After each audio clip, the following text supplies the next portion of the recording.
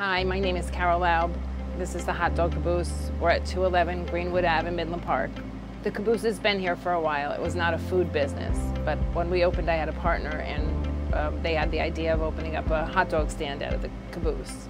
Obviously, the, the building itself, the location, the kids love to come to the train. And as far as our hot dogs go, we have a lot of specialty hot dogs. The taco dog or the Chicago dog, they seem to be the favorites.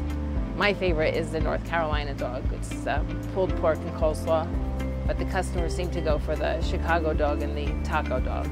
I had um, partners only first opened and their daughter lived in Chicago. So they brought the idea back from Chicago and then they started bringing the ingredients from Chicago.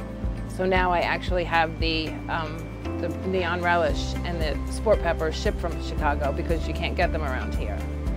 I love my family. I love to play with my grandchildren. That's pretty much all I have time for. There's, there's six of them and another one on the way, so.